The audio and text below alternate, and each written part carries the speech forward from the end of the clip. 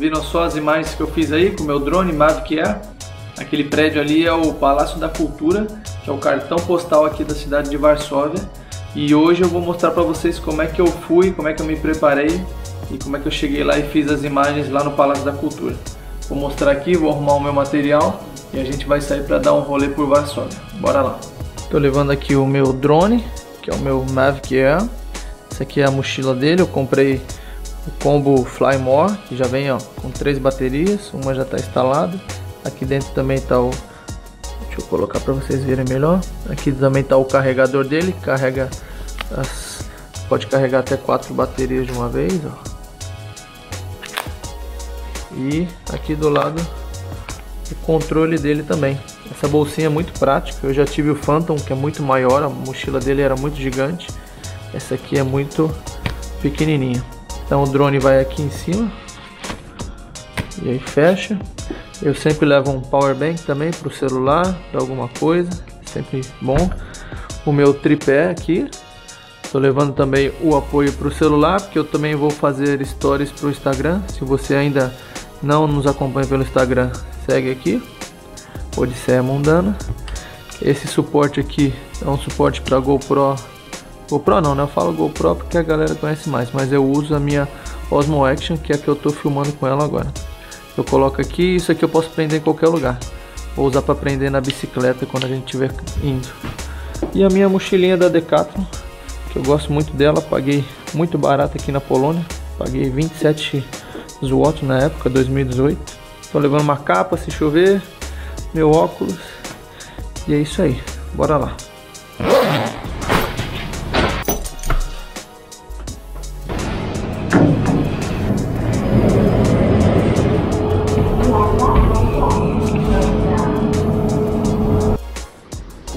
Varsóvia o transporte público funciona muito bem. Além do transporte público, aqui tem opções de bicicleta, que eu estou indo buscar uma agora. Existe o patinete, né? Que é o Uber, que eles chamam. E também tem bicicleta elétrica, patinete elétrico, tem carros para alugar por aplicativo. Então aqui funciona muito bem. Além de ter metrô, o tram, que é o seria o bondinho, né? Em quase todas as esquinas da cidade, é muito bom. Então eu tô indo lá alugar uma bicicleta agora. Vai ser a primeira vez que eu pego sozinho, a outra vez a Maia que usou o aplicativo dela. Dessa vez ela instalou no meu celular e colocou crédito para mim. Vamos ver se eu vou desenrolar ou se eu vou ficar enrolado lá com essa bicicleta. Bora lá.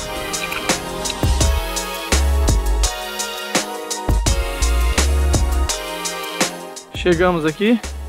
Aqui é o ponto de retirada e para estacionar as bicicletas. É, dá uns 200, 300 metros de casa. Tem vários outros espalhados. Tem movida a energia solar, olha que legal. Tem instruções em inglês e em polonês para quem é turista aqui também poder pegar, baixar o aplicativo e tudo. Eu já baixei a bicicletinha bem legal. Essas daqui não são elétricas, mas tem algumas opções que são elétricas. Você pode colocar sua mochila, tem espaço atrás. Se você precisar deixar em algum outro lugar, tem um esquema no aplicativo que eu não aprendi ainda, mas você pode amarrar em algum lugar que não seja os pontos. Se você for para algum lugar que não tenha um ponto de parada, alguma coisa do tipo. Então vamos lá pegar uma bike dessa e vamos lá para o centro visitar o Palácio da Cultura que é para lá.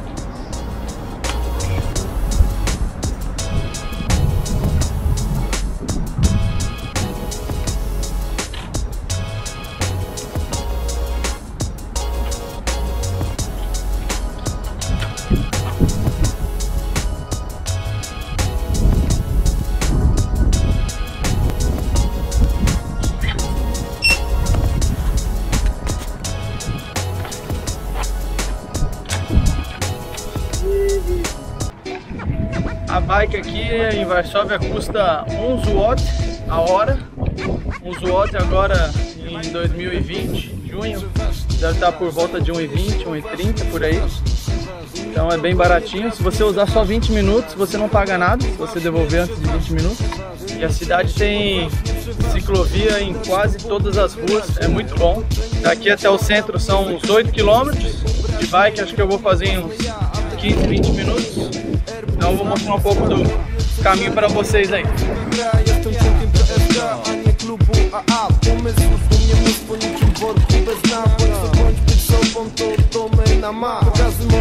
Vida louca na.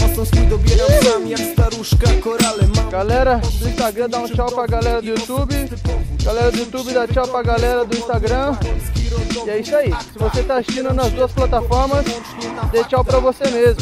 Como vocês podem ver aqui, a qualidade da ciclovia é muito boa. E não só da ciclovia, ali ó, vocês podem ver a, a pista ali, a avenida. É, vocês dificilmente encontram uma irregularidade e buraco então praticamente nenhum. Aí pessoal que me perguntou no Instagram se tem mulher bonita aqui, eu não posso falar nada porque senão a Maia vai me botar para dormir no sofá, mas vocês podem tirar a sua própria conclusão aí. Vocês estão vendo pela câmera e tal. Dá um passeio pela cidade e vocês ficam de olho aí.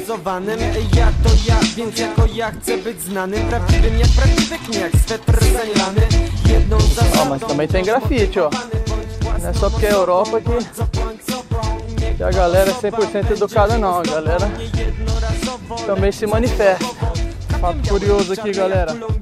Agora não sei se vocês vão conseguir ouvir, mas a galera aqui gosta de meter a mão na buzina, velho. Se você der uma brechinha, fizer uma coisa errada no trânsito, pode esperar que vai vir uma buzinada grande. Deixa eu até sair correndo aqui, é capaz do maluco da bike buzinar atrás de mim também. Galera aqui assim, os caras andam bem certinho, segundo as regras de trânsito. Se você der uma brecha, o cara vai meter a mão na buzina atrás de você. Se você demorar um segundo para sair no farol verde, o cara buzina atrás de você. Aqui é foda. Olha o Lewandowski ali, galera. Você acha que ele é famoso aqui também ou não? O tamanho do, do outdoor com a cara dele ali, ó. Lewandowski aqui é rei, rapaz. Na terra de cego, quem tem um olho é, é caolho, ou melhor, é rei. Onde ninguém bate bola, o cara que bate bola é rei, rapaz. Palácio da Ciência e da Cultura, galera. Esse prédio aí, que é o cartão postal de Varsóvia. Devolvi a bike aqui, galera. É só enfiar no, no suporte ali. Já dei baixa no aplicativo. O Palácio da Ciência e da Cultura, galera. Ele é o maior prédio aqui da Polônia. Já foi o maior prédio com relógio do mundo, da Europa, se não me engano. Mas foi desbancado pelo, por um prédio lá de Tóquio que construiu o relógio e é mais alto que ele. E alguns poloneses não gostam muito dele, fazem até piada. Tem alguns apelidos como palhaço ou piroca de Stalin, porque foi construído por Stalin enquanto a Polônia ainda era comandada pelos soviéticos. Para quem não sabe, após a, o final da Segunda Guerra, alguns países se tornaram soviéticos, fizeram parte da União Soviética e Polônia foi um deles e só voltou a, a ser e só deixou de pertencer à União Soviética após o 89 ou 90, se eu não me engano. E eu sei que alguns apressadinhos aí já devem estar falando, porra, no título do vídeo tá voar com drone, alguma coisa com drone eu devo ter colocado aí. Mas calma galera, tem gente que quer conhecer um pouco da cultura da Polônia. Então, se você pulou agora e quer saber como fazer imagens com drone, agora eu vou passar a falar um pouco mais do processo criativo que eu faço quando eu chego no lugar para fazer imagens com drone. Então vamos lá, primeiro lugar, quando você quer filmar alguma coisa, no meu caso é o prédio, a coisa mais importante que você tem que fazer identificar a posição do sol, tá vendo? O sol tá lá estourando a imagem, o prédio tá aqui. A coisa mais importante para tirar foto e fazer vídeos é a posição da luz, no caso nossa luz natural, sol. O que acontece? Nessa posição aqui o sol está iluminando essa face, então é muito melhor eu fazer as minhas imagens com o drone circulando por esse lado, olhando o prédio nessa direção. Que aí eu vou ter a maior quantidade de iluminação e o drone não vai virar para o sol e não vai estourar a imagem, tá vendo? Aqui deve estar tá estourando tudo, isso é horrível quando você faz um vídeo. Então nunca façam isso. Sempre for tirar foto de alguém, pede para a pessoa ficar contra o sol. O sol tá lá, pede para a pessoa ficar para lá. Tira a foto aqui, olha como essa árvore tá bonita aqui, ó. Olha a cor da grama, que bonita. Se for tirar alguma coisa contra o sol, olha as pessoas ali. Você não consegue ver porcaria nenhuma. Ó, Outra coisa é estudar a região, o que você vai fazer. Antes de decolar o drone e perder sua bateria, olha em volta. Porra, aquele prédio é bonito. Se eu fizer algumas imagens de repente por trás desse prédio, pegando esse prédio aqui, eu já vi umas fotos na internet, é legal. Estuda, vê se alguém já fez fotos do mesmo lugar que você vai fazer na internet. Eu já vi um cara que tem aqui em Varsóvia que ele faz imagens muito boas. Ele tem fotos atrás daquele prédio, ele tem vídeos passando entre os dois prédios. Ficam muito legal. Mas eu quero, o meu foco é a, é a torre, é o Palácio da Cultura. Então eu devo fazer alguns vídeos circundando ele. E outra dica muito importante é, quanto mais próximo do final ou do início do dia, mais bonita fica a luz. É o que eles chamam de Golden Hour, a hora dourada. O que acontece? Quando o sol está próximo do horizonte, ele tem uma luz mais amarelada. Então as coisas ficam com uma cor mais bonita, além do que as, as sombras não ficam tão fortes, é o que eles chamam de luz dura. O que acontece? Quando ah, o sol tá pino, agora ele tá meio termo aqui, 45 graus, então tá mais ou menos ok. Mas quando ele tá muito alto, muito forte, as sombras ficam muito escuras, é o que eles chamam de sombras duras. Isso não é legal, você pode ver que a sombra da árvore ali tá bem forte e tal. Quando ele tá no horizonte, fica tudo, a luz fica mais difusa, as sombras ficam mais suaves, fica tudo mais bonito. O ideal era que eu viesse aqui no final da tarde, porém tá anoitecendo aqui lá para as 9, 10 horas da noite aqui na Polônia. Então eu não vou, vou, ficar aqui até 10 horas da noite, vou fazer as imagens aqui mesmo. Se ficou bonito, vocês devem ter visto no início do vídeo e no final eu vou colocar o vídeo mais uma vez. Então bora lá. Beleza, agora vamos preparar o equipamento. Outra coisa que não precisa nem falar, né? é testar e ver se o equipamento está ok antes de sair de casa. Ver se suas baterias estão carregadas, ver se o cartão de memória está vazio, se está funcionando. Outra coisa que você tem que prestar atenção com o drone é para carregar, para calibrar a bússola.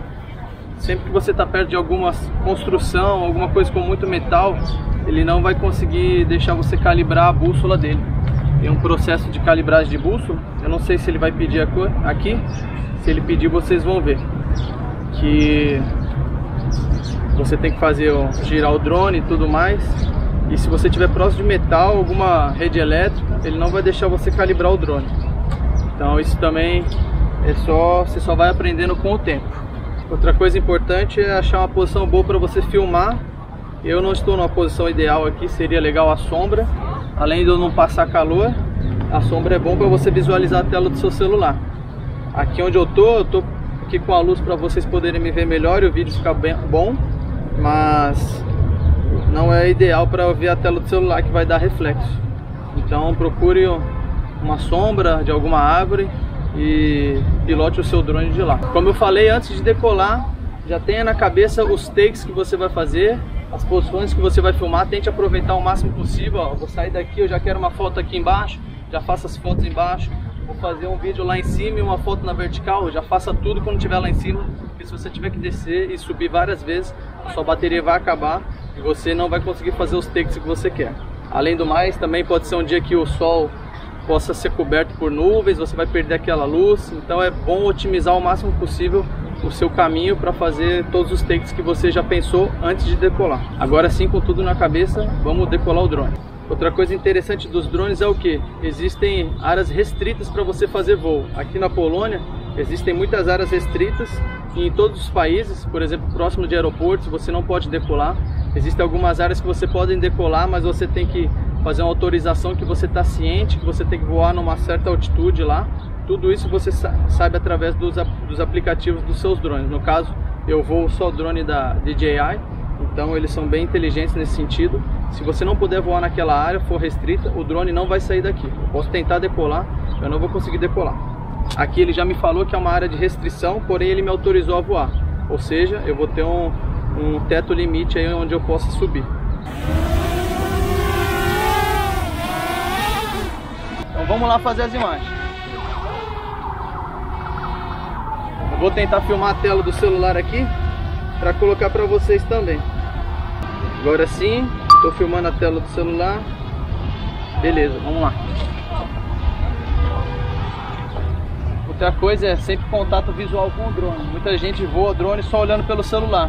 Porém, a câmera você só vê de frente, você não vê ao lado. Se você for fazer alguma curva, rolar para o lado com o drone, você pode bater em alguma coisa e não ver. Apesar do meu drone ele ter dispositivos sensores que evitam colisão, se você tiver numa velocidade muito alta, ele não vai ter tempo de parar e vai fazer e vai colidir.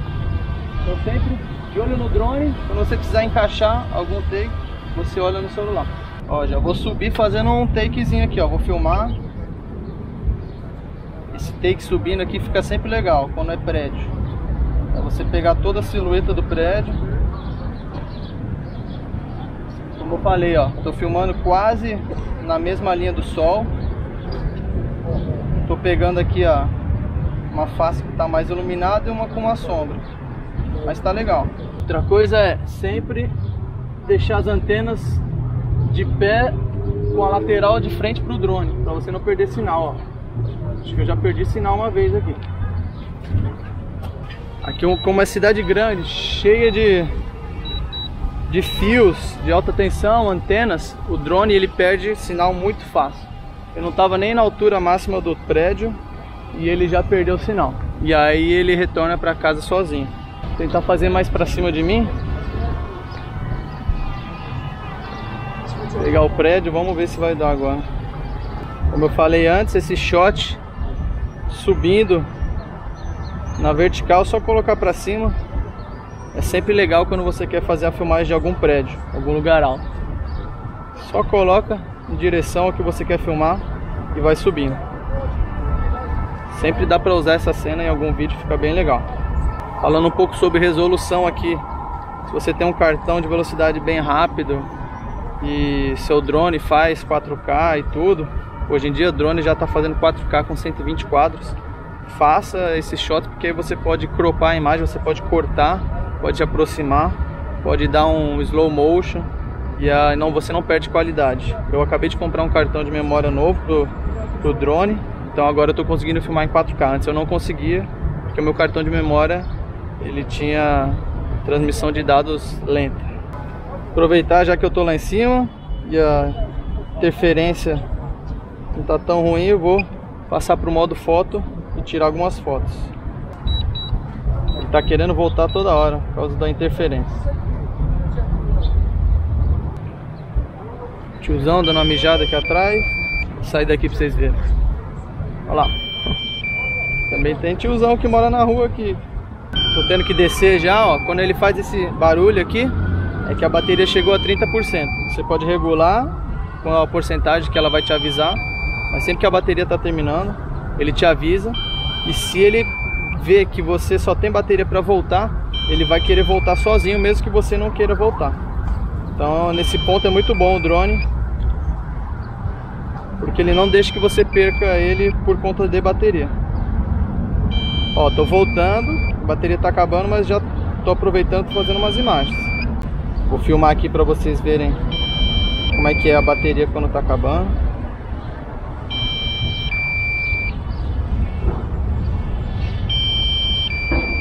Ó, a bateria está 17%, vocês devem estar tá vendo aí.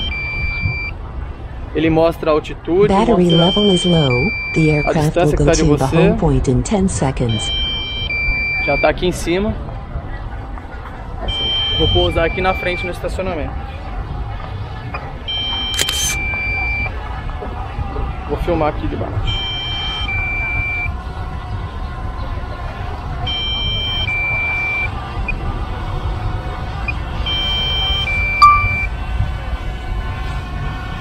Olha lá, agora vocês estão vendo pela imagem do drone, chegando aqui próximo. Outra dica que eu vou dar para vocês é aprendam a pousar o drone na sua mão, que assim você vai ficar safo para fazer voo em algum lugar de água, barco. Você não vai precisar sempre de um lugar no chão para pousar. Isso é muito bom. Vou mostrar para vocês como é que eu faço. Landing.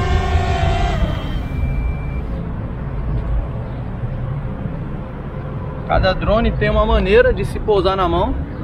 Esse Mavic Air, você põe ele para baixo, o sensor vai ver que tem alguma coisa, ele não deixa, mas você continua colocando para baixo.